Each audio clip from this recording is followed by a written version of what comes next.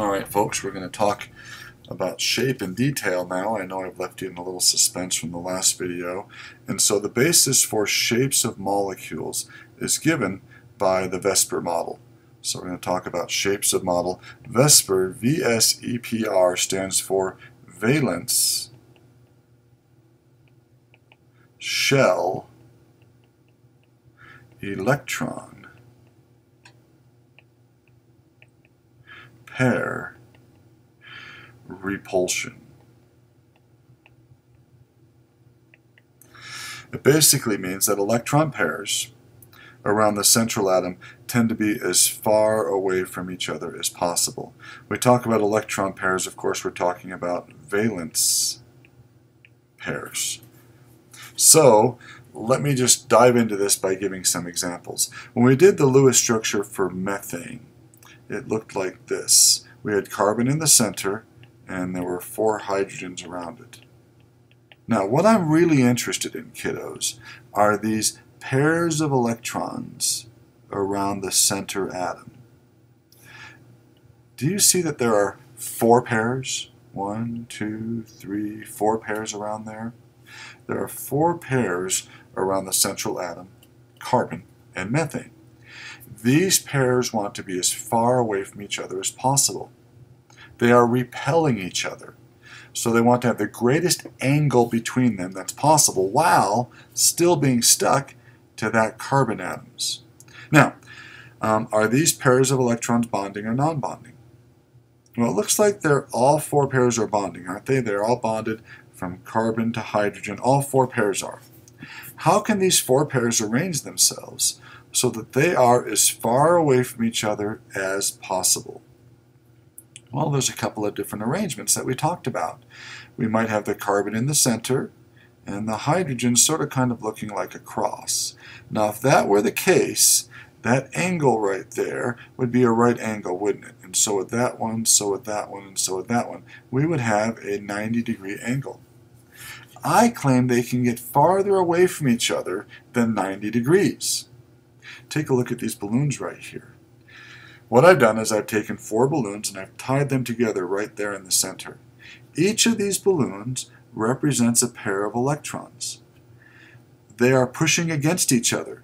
They are being as far away from each other as possible. Do they look like they form a cross and are 90 degrees from each other? No, they end up doing this. I'm going to try to draw it here, but it's not the best way to do it. But I have one pair up there, one pair like this, that's the green balloon, that looks like it's going back into the paper, and then this red one's also going back into the paper, and then that blue one looks like it's coming out of the paper, doesn't it? That's what they do naturally. And with carbon in the center there, and hydrogen's up here, that's exactly what the methane molecule does. The shape of that is called tetrahedral.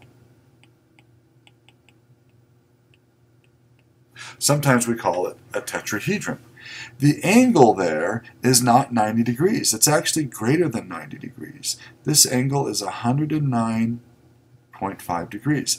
This angle here, remember, this one's coming out of the paper, is also 109.5 degrees. This angle from this hydrogen down to this hydrogen. I know it looks greater in my drawing here. Remember, this, this one that's shaded coming out of the paper is also 109 0.5 degrees. It's an important angle that you need to remember. So the electronic geometry, just looking at the electron pairs around the central atom for methane, is tetrahedral. Whenever there are four pairs bonded to a central atom, the electronic geometry will be tetrahedral. Another name um, used for molecular geometry is shape. So we'll often say, what is the shape of that molecule? And of course we would say tetrahedral. Now the bond angle, we already said, is 109.5 degrees, and it's an angle that you should memorize. Each one of the atoms bonded to the central atom here is 109.5 degrees from each other. Now with that in mind, would methane be polar or nonpolar? Well, what's this? let's decide. To determine this, we look at the bonds and the shape of the molecule. Let's redraw methane with its dipoles. Okay, so we're going to draw the Lewis structure. Here's carbon, hydrogen, hydrogen, hydrogen, hydrogen. Now there's an electronegativity difference there. Let's take a look at that. Carbon is 2.5, hydrogen is 2.1. So there is an electronegativity difference between the two atoms. So each of these bonds is polar. And so we'd have a dipole going from hydrogen towards this carbon, from hydrogen towards this carbon, from hydrogen towards this carbon, and hydrogen towards this carbon. Okay, we end up having four separate dipoles.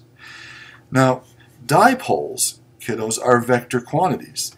They have magnitude and direction.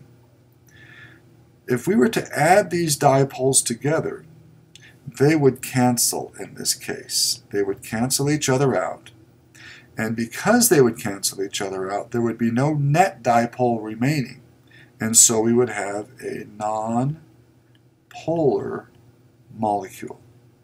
So the EN difference between each bond, let's see, carbon was 2.5, hydrogen was 2.1. The EN difference was 0.4. There was a difference. It would be a covalent bond because it's smaller than 1.7. But because of these dipoles canceling each other out, there's no net dipole remaining. And so the molecule methane is a nonpolar molecule. So the shape would be tetrahedral, The bond angle between hydrogen, carbon, and hydrogen anywhere in that molecule would be 109.5 degrees, and we would say it would be a non-polar molecule. Okay, let's try that with another one. Let's redraw the Lewis structure for the ammonia molecule. If you remember, ammonia is NH3. So if we redraw that, we have nitrogen, bonded to three hydrogens like this with a non-bonding pair above that nitrogen. Now, what's the shape of that? Well, I'm sort of giving it away over here. It does look like a trigonal pyramid, doesn't it? But let's try to figure out why. Let me try to draw this in three dimensions again for you. Looks like we have a pair of electrons up here, a hydrogen going back into the paper here, a hydrogen going back into the paper here, and one coming out of the paper here. And let's put the nitrogen there, kiddos, right in the middle. All right, now can you imagine that shape? Yeah. There's nothing bonding up here. That's a, a lone pair. There's no hydrogen atom up here. So really when we're determining the shape of the molecule, we're looking at this part of the molecule. That pair of electrons still exists, but it, there's no hydrogen atom up there to make it part of the molecular shape. So, how many pairs of electrons are around the central atom? Well, we have one, two, three, four. There are four pairs still. What is the geometry whenever we have four pairs? That's right, tetrahedral. Whether they're bonding or not, they're there, and they're going to be as far away from each other as possible. How many of those pairs are bonding? One, two, three of them are bonding, and we have one non-bonding pair. Now, whenever you end up with this, the molecular shape is trigonal pyramid. Now, what do you suspect the bond angle is going to be? What's this angle going to be? Remember, this hydrogen to that hydrogen coming out of the paper. You would suspect it to be about 109.5. This hydrogen uh, to this hydrogen. You would also expect to be 109.5 degrees, and this nitrogen to any of the hydrogens would also be the same. So the bond angle there, we would expect it to be 109.5 degrees because we have a tetrahedral electronic geometry. Now it turns up turns out that non-bonding electron pairs take up more space than bonding pairs and they end up reducing the expected bond angle by a little more than 2 degrees. So the angle is actually closer to 107 degrees, not 109.5. And that's because this non-bonding pair up here, it's not being shared between two positive nuclei. It's not being stretched like these other three are. And so it takes up a bit more space. And as, and as a result, it pushes the other ones down about two, a little bit more than two degrees than what we'd expect. Now, how about the polarity? Is that polar or nonpolar? Well, let's see. If we drew in our dipoles here, um, they would all be going in towards the nitrogen, right? We'd have a non-bonding pair up here. Now remember, this one here is sticking out of the paper. And these two are sticking back into the paper. And because they're vector quantities, they won't all completely cancel each other because there's nothing up here to cancel it out. So this molecule is considered to be very polar because the dipoles will not cancel each other out. I like to pretend each one of those dipoles that I just drew right here are acting like tiny spaceships, pushing or pulling on the central atom. If that central atom moves, it would be polar. If it won't move, then it would be nonpolar. That would mean all the dipoles would cancel each other. So I like to envision these guys being spaceships pushing on that central atom or pulling on it. And if it ends up moving, then it's polar. If it's not, they cancel each other out and it's nonpolar. Okay, here, let's do one more and we'll call it good. Let's do the Lewis structure for water below and hopefully this will clear that up.